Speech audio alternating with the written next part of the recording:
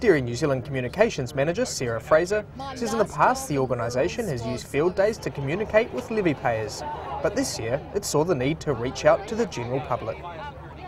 She says Go Dairy, with its animated interactive tools and education campaign, will bring New Zealanders, young and old, up to speed on the crucial role the dairy sector plays.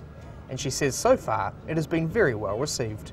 It's been interesting actually. At one stage I was looking this morning and we had um, small children were sitting down and they were getting tattoos put on. There were teenagers at the banks of the iPads um, signing up on Facebook to follow Rosie on her travels. And then we had the grandmothers clustered around the ice cream stand collecting stickers and tattoos for their kids, their grandchildren.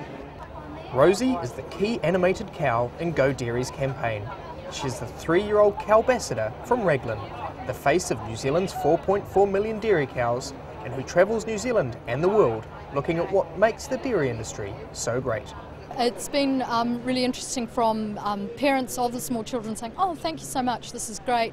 Uh, talking to farmers who are just really pleased that something's being done because they feel unjustly maligned and under attack, and just they're really appreciative that the good side of the industry has been shown. And then there's also people who are retired farmers and say, This is great, our grandchildren don't live on farms, they don't have anything to do with farms. This is great to give them a bit more understanding about how farms work.